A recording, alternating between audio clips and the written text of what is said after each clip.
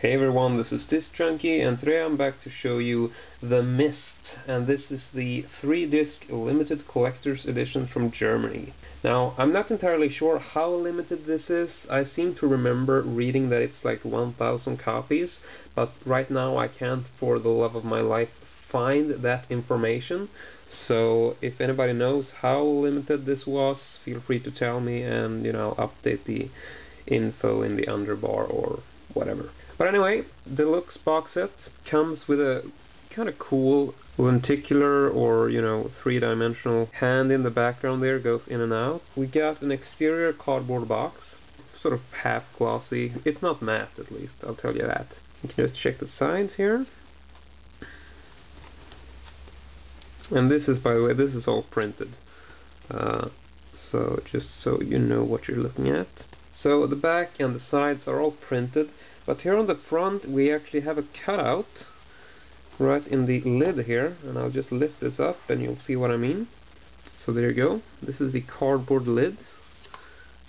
And then behind the lid here we have what is actually a plastic piece which is uh, sort of half see-through like mist type thing but you know this isn't a slipcase or anything I just want to clear that up it's as you can tell it's basically just a piece of plastic to sort of give a bit of depth to the uh, image, uh, which is you know right down here, and that depth sort of creates uh, you know mu much more of a feel to it. So uh, yeah, it's pretty pretty interesting idea, though I don't really understand why this wasn't like glued or somehow attached to this, but I don't mind. It's a really cool case in my opinion.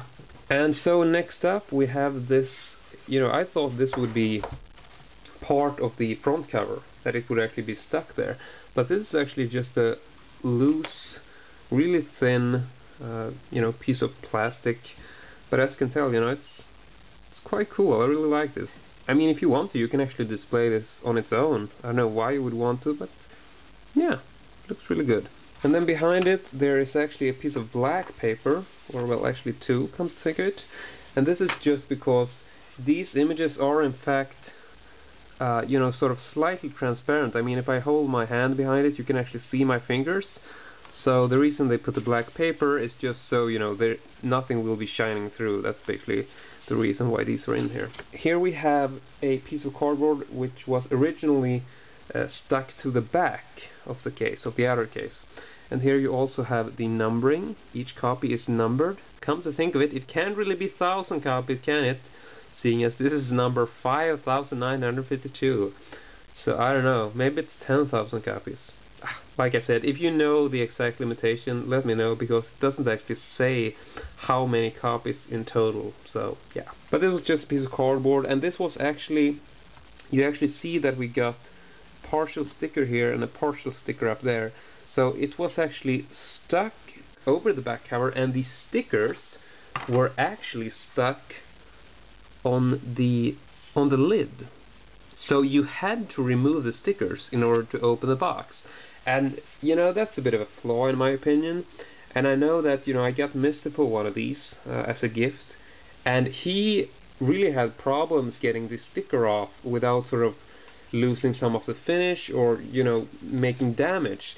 Uh, and especially on the cardboard piece. So I actually decided to cut the sticker and you know keep it on here because I mean, I started trying to rip it off, and I just realized, you know, you're just gonna ruin the cardboard on this, so you might as well keep it on there. However, you know, for the lid, I actually managed to get that off without losing any of the finish, so that's good. But you, you still have to be really careful removing these stickers, so a fair warning to anyone who buys this. Next up, inside the box, this feels a bit luxurious, doesn't it? And that makes it really easy to take out the Digipack. Just showing you quick what the box looks like.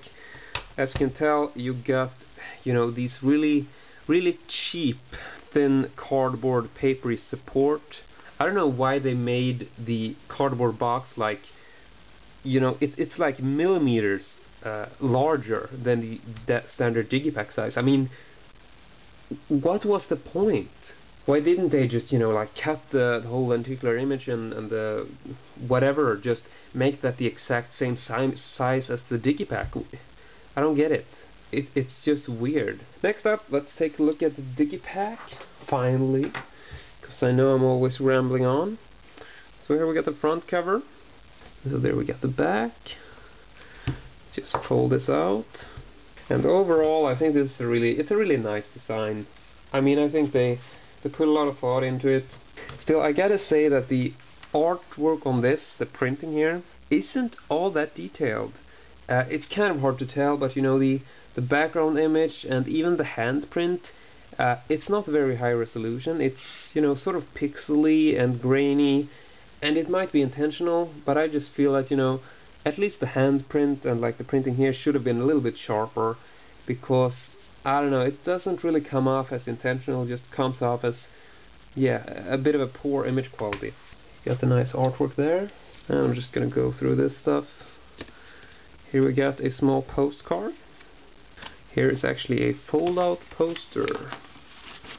As you can tell, it's just a classic theatrical poster image. And then there's also this, which is actually a fourth disc, but this is really uninteresting. It's actually just a bonus disc, and it's a promotional disc, which basically just, you know, advertises. I, I'm guessing it's just, you know, it's like trailers uh, for some other movies released by the same company, so not too special, but it was included, so might as well mention it. And then we can just remove the discs, so you can get a clear shot of the background artwork here. I gotta say, this is actually it's quite nice. It looks really nice. And once again, though, the the overall image quality is quite grainy, but yeah, it, it's still still very well chosen, I think, and it does work. So yeah, I'm pretty happy with this. Uh, I'm guessing you would be too if you picked it up. You know, it's it's a nice design, I gotta say. Plus, I'm also a real sucker for like the whole multi-layer approach. I always love it when they have like plastic slip cases and see-through, and you know, it, it's it's just a clever design. I think they really made use of uh, a lot of interesting choices here. But there you go. And, uh, oh yeah, before I go, I do have to mention the plastic, the plastic piece here. Originally, there was actually a rating logo here, which is a sticker, and it's pretty big rating logo. I mean, if you know anything about German editions, you've seen these before.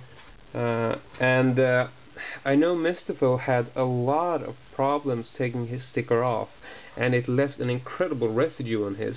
Uh, I actually managed to get my sticker off without losing, you know, any finish, without getting any residue, just, you know, carefully taking it off and then sort of, you know, keep going back, sort of just sponging up the rest of the residue, so it worked out for me, but still a bit of a warning there. But that's it from me today, and thank you very much for watching, and I hope to see you all next time.